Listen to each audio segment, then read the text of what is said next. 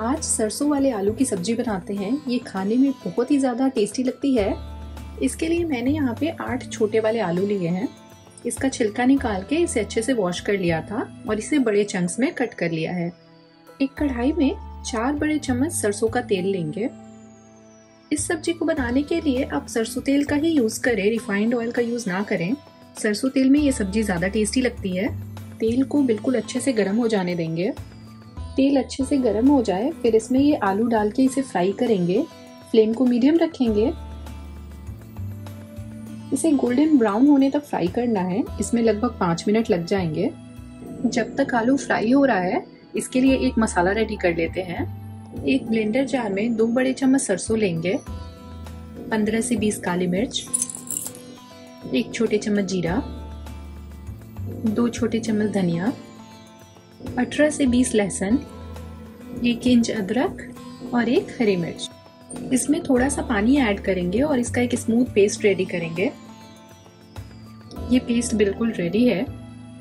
आलू अच्छे से फ्राई हो चुका है। इसके ऊपर गोल्डन ब्राउन कलर भी आ गया है तो इसे निकाल लेते हैं।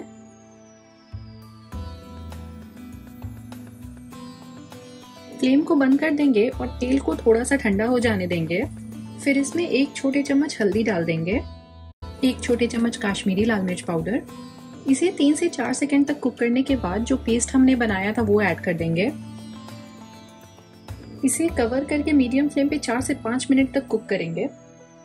अगर आपको लगे कि मसाला चिपक रहा है तो आप इसमें थोड़ा सा पानी ऐड कर सकते हैं।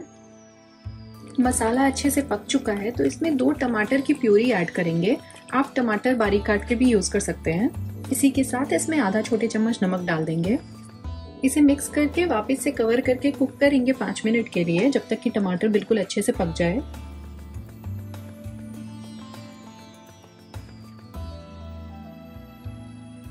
टमाटर भी अच्छे से पक चुका है तो आलू इसमें डाल देंगे।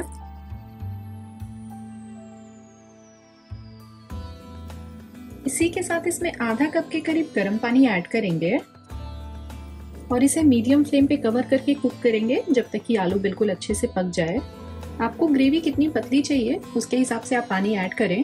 पानी ऐड करने के बाद नमक ज़रूर टेस्ट कर लें। नमक अपने टेस्ट के हिसाब से एडजस्ट कर लें। अब इसे कवर करके मीडियम लो फ्लेम पे अच्छे से कुक होने देंगे जब तक कि आलू बिल्कुल अच्छे से पक जाए। इसमें आठ से दस मिनट लग जाएँगे। आलू बिल्कुल अच्छे से पक चुका है तो इसमें दो बड़े चम्मच धनिया पत्ता डाल देंगे।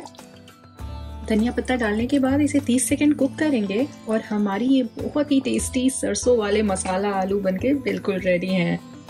अगर आपने इसे कभी ट्राई नहीं किया है तो एक बार ज़रूर ट्राई करें। आपको ये बहुत अच्छी लगेगी। इसे सर्व करते हैं। आप इस सरसों वाले आलू को स्टीम्ड राइस के साथ या पराठे के साथ सर्व करें, ये बहुत टेस्टी लगती है। अगर आप चाहें तो आप इसमें आलू के साथ और कोई सब्ज़ी जो आपकी फेवरेट हो, वो भी ऐड कर सकते हैं। अगर आपको ये रेसिपी ट्राई करने के बाद पसंद आए तो मेरे वीडियो को लाइक और मेरे चैनल को सब्सक्राइब करना बिल्कुल ना भूलें।